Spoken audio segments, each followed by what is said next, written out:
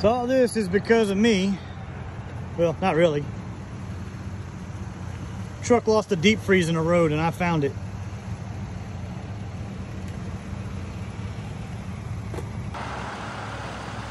Yep.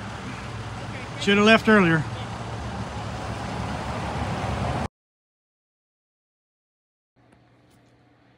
You ever wonder how tough an ARB front bumper is in these trucks?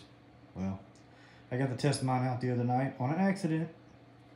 Truck had his high beams on, turned them off. He was trying to warn me. There was a deep freeze in the road.